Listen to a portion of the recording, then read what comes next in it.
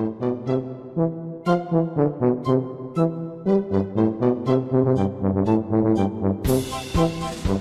you.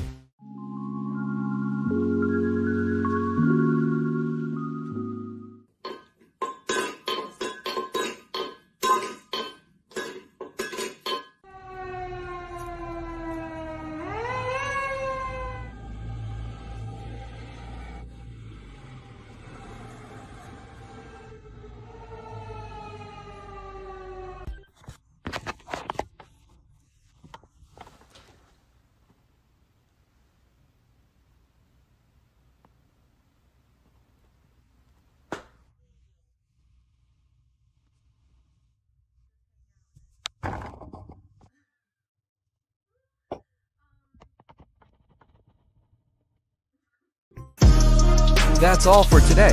See you in the next episode and if you liked the video, don't forget to share, like, and subscribe to my channel. Thank you for watching.